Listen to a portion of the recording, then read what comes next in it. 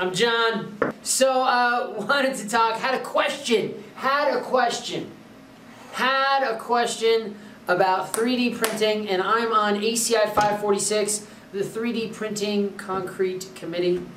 Um, and uh, I'm putting a tech note together, and the tech note is on how 3D printing with cementitious ink dot or asterisk, asterisk, asterisk benefit the concrete construction industry. Um, and I want to go through the different pieces of the 3D printing system. And altogether, I have, and this is not the final, this is only a draft, four pieces, whing, four pieces to the, uh, the, C, uh, the 3D printing system. And I call it cementitious ink because most of what we're using in the industry, when it comes out of that nozzle, it's not concrete. You know, it's more like a, a grout or mortar. It, it it's, doesn't have the aggregate size to be considered a concrete. So calling it a 3D cementitious ink, uh, I know it sounds annoying. I get it. It doesn't roll off the tongue as well as, you know, 3D printing concrete.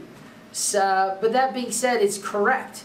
So if you got a better idea, I'm willing to listen. But right now, I think 3D cementitious ink is a better idea and it's more precise. You can say 3D cementitious composite ink. Now that would be awesome. 3D PCCI. 3D PCCI. That's the new terminology. I'm not trying to annoy people. It's just concrete ink, con or 3D printing concrete. It's not what we're doing.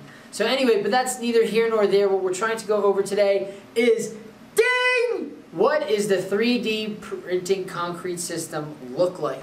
And like I said, I break it down into six sections. The first and most important portion is the nozzle assembly. And if we start at that grayish area where it looks like there are these layers that have been printed down a concrete, that's the nozzle.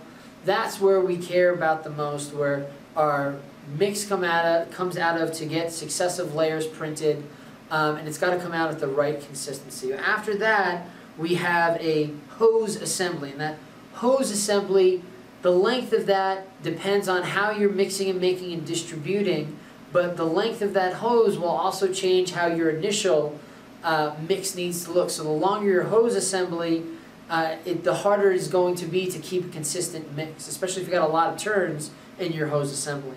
Connected to the hose assembly is our pumping system. That pumping system could be a boom operated pump, could be an auger based pump. Eh, there are a lot of different types of pumps out there. Uh, it, it could be just a, a pressured hose where you're, you're feeding the fluid concrete into that hose and it pressurizes it through system and dampens it a little bit and then prints it out. So it really is up to you and what you want to do and what your fancy is and how your 3D printing is set up. After that, you have the actual cementitious ink mixer or the 3DP CCI mixer. so here's any type of mixer that we have, uh, you know, a, a, rotary drum mixer, vertical shaft mixer, colloidal mixer. Again, it's the type of material that you're working with, the consistency that you're trying to get to, and the type of energy that you need. Could be a rock and rolling uh, rotary drum mixer with the cap on it, so it not only mixes like this, but it goes back and forth and it shakes like that. It, it's really up to you. You can even be a drill set. You know, you got a DeWalt drill you got a paint mixer on, and that's how you're mixing up the material before you put it into your distribution system. Uh, and then after that, everything that connects the whole thing, um, and it could be operated manually, it could be automated, uh, it depends on the level of the software and, and, and, hardware that you have, but you have your uh, your computer system, your software system, and everything that's going to control, whether that's, again, computer-based or person-based, the entire uh, mixing system, pumping system, and then 3D printing system.